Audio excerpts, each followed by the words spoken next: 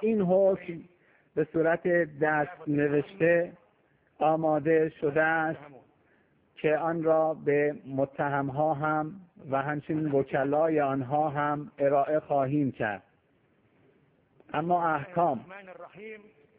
بسم الله الرحمن الرحیم. بسم الله الحق العدل به نام خداوندی, خداوندی که صاحب حق است و صاحب عدالت است. 15 واحد بعد از مقدمه ای که از سوی دادگاه ارائه شد و مقدمه نسبتا مفصلی هم بود 184 بر مبنای قوانین آین قوانین و آین دادرسی مصر و بر مبنای قوانینی که هیئت وکلا از آن مطلع هستند 36 من قانون العقوبات و بر مبنای قوانین کیفری مصر این حکم آماده شده است. دادگاه به صورت حضوری و با حضور همه متهمها این احکام را به جز یک مورد صادر کرده است.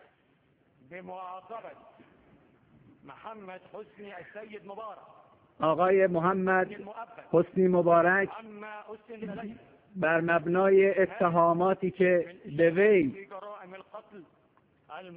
اشاره شده است به حبس ابد متهم می شود متهم ایشان هم شروع به قتل و دستور کشتار مردم هست. وی به حبس ابد محکوم می شود متهم ردیف دوم حبیب العادلی وزیر کشور حسنی مبارک. به اتهام شروع به کشتار مردم و صادر کردن کشتار مردم به حبس ابد محکوم می شود سوم بر مبنای آنچه که گفته شد و بر مبنای المضبوطات المقدمة آین دادرسی مصر. خامسا این افراد متهم هستند که کشتار مردم را دستور داده اند و بیش از 800 نفر از کسانی که در انقلاب مصر جان خودشان را از دست دادند به دستور این افراد جان خودشان را از دست دادند مواردی دیگر هم در این احکام هست که متهمها از آن تبرئه می شوند وحسين كمال الدين ابراهيم حسین کمال الدین ابراهیم. محمد حسن السيد مبارك علا مبارک و جمال مبارک و محمد حسنی مبارک. كل منهم في شأن جنايتين در خصوص النفوذ وتقديم استفاده از نفوذ خودشان و همچنین المدة فساد مالی مالی که علیه آنها متهم شده اند از بخشی از آنها تبرئه می شوند آقای محمد حسنی مبارک در خصوص اتهام تحصیل اموال نامشروع و سوء استفاده از قدرت و ضرر زدن به اموال عمومی هم متهم شناخته می شود نکته هشتم این هست که این احکام برای متهمان و وکلای آنها ابلاغ می شود بما للمحكمة من حق في تكوين عقيدتها. دادگاه بر مبنای مستندات و قرائنی که در اختیار دارد و ادله و شواهدی که در این پرونده نسبتا قطور وجود دارد این حق را برای متهمان و همچنین وکلای آنها این حق را مورد قبول جريمة القتل. که در یک مدت مشخص بتوانند به این احکام که احکام هفته ابد علیه حسنی مبارک هست اعتراض بکنن هرچند که این احکام بر مبنای ساعتهای طولانی و حدود چهل و شش جلسه با دقت تنظیم شده است.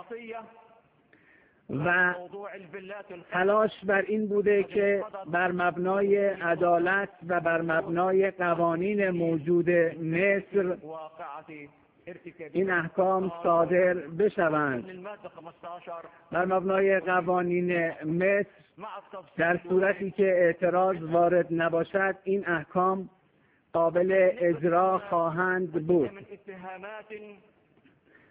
اما در خصوص اتهام علیه فرماندهان پلیس در کشتار مردم. دادگاه پس از اینکه در همین جلسه دادگاه و در همین محل اظهارات شاهدان را شنود کرده و مدارک متعدد و قراین متفاوتی را با کمال دقت جمعآوری و مورد دقت و بررسی قرار داده است.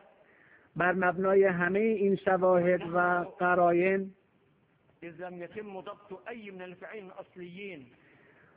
مرتكبي جرائم القتل العمد والشروع فيه. گرچه شماری از فرماندهان پلیس اینها بازداشت نشدند حتی بعد از اتفاقاتی که افتاد بازداشت نشدند. اما این محاکمه هم به صورت جدی ادامه پیدا کرده است. و در مواردی دادگاه مجبور شده بود که بیش از صد شاهد را به دادگاه فرا بخواند و اظهارات آنها را بشنود. با این وجود احکام آنها هم مشخص شده است. اما مواردی هم هست که به نوعی می توانیم آن را نقص در روند دادرسی بدانیم. هرچند که علیه فرماندهان پلیس هم مستندات فراوانی بود. حتی نوارهای صوتی و ویدیویی هم به عنوان قرینه در این دادگاه مورد بررسی قرار گرفت. حتی دادگاه مجبور شد برای اینکه دست داشتن نیروهای امنیتی و پلیس را در کشتار مردم مورد بررسی قرار بدهد. صحبت هایی که نیروهای امنیتی از طریق بیسیم و ارتباط هایی که با یکدیگر داشتند را مورد بررسی قرار داد که ساعتها فرصت دادگاه را به خود اختصاص داده است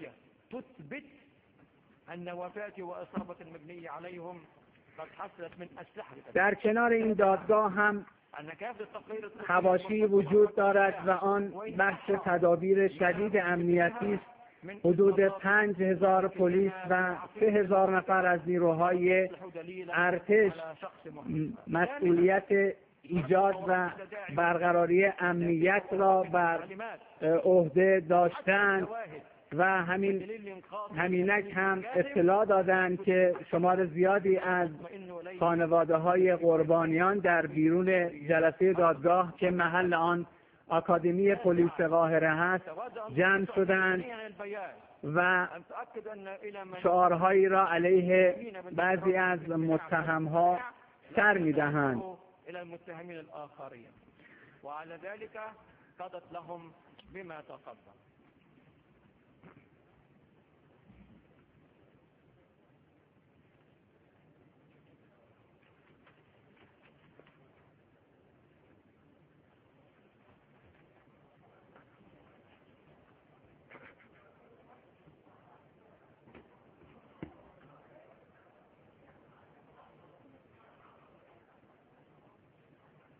ولا يسع المحكمة في هذا المنحى من التداعي. بما سطرته بيمينها الطاهرة وما وقر في ضميرها عن حق وصدق وما استقر في وجدانها عن يقين وجزم إلا أن تذكر دادگاه بر مبنای عدالت و بر مبنای قوانین موجود و بر مبنای عهدی که قضات و دادگاه در برابر وجدان خود و در برابر خداوند سبحان قرار دارند. تلاششان این بوده است که. حکم بر مبنای عدالت باشد. ما تنها به تعهد خودمان عمل کردیم و هدفمان این بوده است که از مسیر عدالت خارج نشویم.